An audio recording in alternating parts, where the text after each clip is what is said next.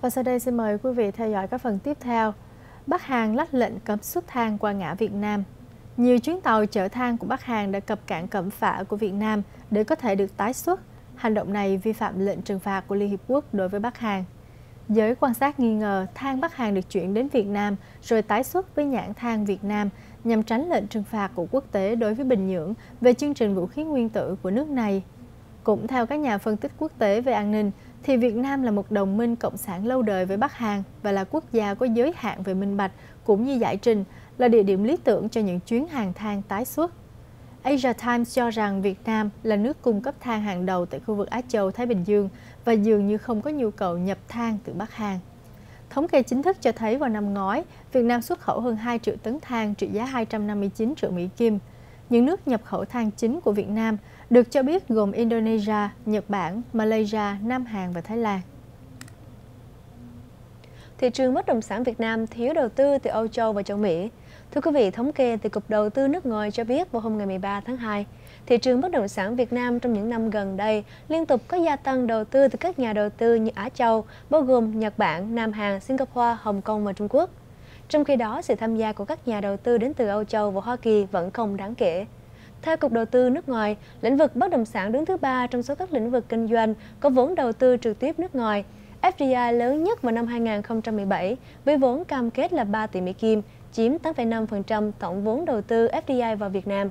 Đây cũng là lĩnh vực thu hút nhiều FDI nhất tại thành phố Sài Gòn vào năm 2017 với 1 tỷ Mỹ Kim. Trong đó Nhật Bản là nhà đầu tư lớn nhất, theo sau là Nam Hàn. Thưa quý vị, Việt Nam phản đối Saudi về lệnh cấm nhập hải sản. Tin này được tạp chí chuyên ngành về hải sản Seafood Source có trụ sở tại Hoa Kỳ loan báo vào ngày 12 tháng 2 cho biết phía Việt Nam đã gửi thư phản đối cho ông đại sứ Saudi tại Hà Nội. Lý do được phía Saudi đưa ra để cấm nhập hải sản của Việt Nam là phát hiện thấy bệnh chân trắng ở tôm nuôi Việt Nam. Phía Việt Nam phản bác lại, nói rằng bệnh chân trắng này cũng thấy cả ở tôm nuôi tại Saudi Arabia và một điều vô lý theo phía Việt Nam là tôm nấu chín diệt hết các loại bệnh mà vẫn bị cấm nhập cảng. Ông Nguyễn Như Tiệp, Cục trưởng Bộ Nông lâm nghiệp và Nghề cá nói rằng phía Saudi Arabia đã không gửi cho cơ quan chức năng Việt Nam những biên bản mà họ đi kiểm tra thực tế tại Việt Nam. Đại sứ Saudi tại Việt Nam Dakhil Al-Jahani nói rằng ông chia sẻ những lo lắng của Việt Nam và sẽ cố gắng giải quyết vấn đề này để nó sẽ không tổn hại đến quan hệ hai nước. Ngoại trưởng Úc Quốc trả lời về nhân quyền Việt Nam – Thưa quý vị, chính phủ Úc cam kết làm việc với chính phủ Cộng sản Việt Nam và các tổ chức nhân quyền để thúc đẩy tình hình nhân quyền tại Việt Nam, kể cả việc thông qua cuộc đối thoại thường niên nhân quyền giữa Việt Nam và Úc Quốc. Đây là lời khẳng định của Ngoại trưởng Úc Julie Bishop trong thư phúc đáp đề ngày 5 tháng 2 gửi dân biểu Úc Chris Hayes. Vị dân biểu này gửi thư yêu cầu bà để thúc giục chính quyền Hà Nội phải trả tự do cho ba nhà hoạt động xã hội đó là blogger mẹ nắm Nguyễn Ngọc Như Quỳnh, bà Trần Thị Nga và anh Nguyễn Văn Ngoai đồng thời yêu cầu chính phủ Việt Nam cho phép các nhà quan sát được theo dõi những phiên tòa kháng cáo của ba nhà hoạt động nêu trên. Ngoài ra, Bộ Ngoại giao và Thương mại Úc Quốc cũng đã yêu cầu Việt Nam cần tuân theo những cam kết quốc tế về nhân quyền mà chính phủ Hà Nội đã ký kết. Tin giải trí cho biết Hoàng tử Harry và hôn thê Meghan đến thăm quán cà phê từ thiện. Hoàng tử Harry và vị hôn thê người Hoa Kỳ Meghan Markle đã đến Edinburgh vào thứ Ba 13 tháng 2 trong một chuyến thăm chính thức đến Scotland trước khi kết hôn vào tháng 5. Họ đến thăm Social Bite, một tổ chức từ thiện có các quán cà phê và phân phát thực phẩm cho người vô gia cư, cũng như tuyển dụng những nhân viên vô gia cư. Nhà hàng đã thu hút được những chuyến thăm từ những tên tuổi cao cấp khác như nam diễn viên George Clooney và Leonardo DiCaprio. Harry 33 và Michael 36 tuổi cũng tham dự buổi tiếp tân tại cung điện Hollywood, gặp gỡ các đại diện thanh thiếu niên từ nhiều tổ chức từ thiện khác – Hoàng tử Harry, người thứ năm liên tiếp lên ngôi, và Michael, ngôi sao của bộ phim truyền hình Suits của Hoa Kỳ, đã tuyên bố đính hôn vào năm ngoái và sẽ kết hôn vào ngày 19 tháng 5 tại Windsor Castle. Trong khi đó, thì Britney Spears được vinh danh vì sự ủng hộ của cộng đồng LGBT.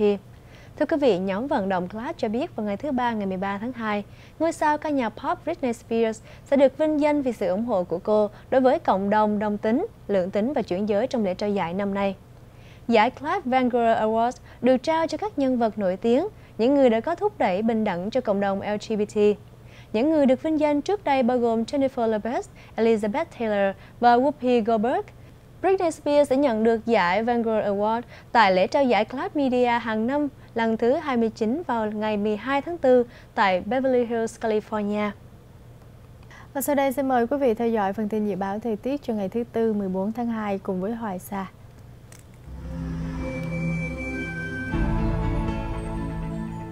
Bản tin dự báo thời tiết mở đầu với thành phố Boston.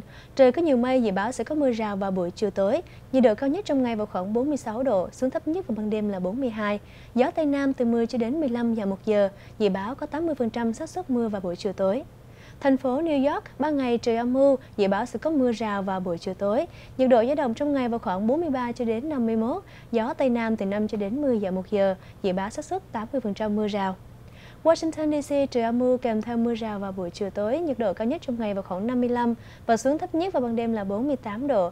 Gió Tây Nam từ 5 cho đến 10 dặm một giờ, dự báo xác suất mưa vào khoảng 70%. Tại khu vực Atlanta, trời âm mưu kèm theo mưa kéo dài trong ngày, nhiệt độ cao nhất vào khoảng 63, xuống thấp nhất vào ban đêm là 57 độ. Gió đông từ 10 cho đến 15 dặm một giờ. Dự báo xác suất mưa trong ngày vào khoảng 50%.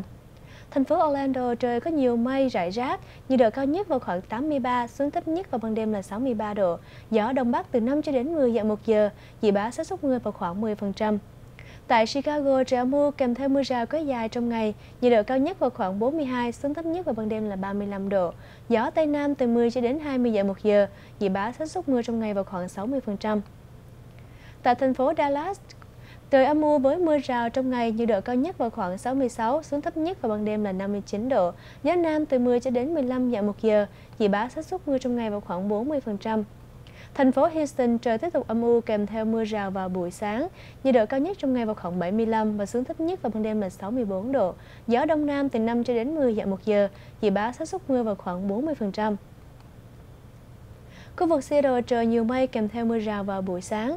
Nhiệt độ cao nhất trong ngày vào khoảng 45, xuống thấp nhất vào ban đêm là 35 độ. Gió thổi nhẹ hướng đông bắc dưới 5 dặm một giờ. Dự báo xác suất mưa trong ngày vào khoảng 70%. Tại San Jose, trời có nhiều mây rải rác kèm theo nắng nhẹ trong ngày, với nhiệt độ dao động vào khoảng 42 cho đến 65 độ, gió Tây Bắc từ 10 cho đến 15 dặm một giờ, dự báo xác suất mưa trong ngày chỉ vào khoảng 10%. Khu vực Los Angeles, trời âm mưa kèm theo mưa rào vào buổi sáng sớm. Nhiệt độ cao nhất trong ngày vào khoảng 66 và xuống thấp nhất vào ban đêm là 47 độ. Gió Tây Nam từ 5 cho đến 10 dặm một giờ. Dự báo xác suất mưa vào khoảng 40%.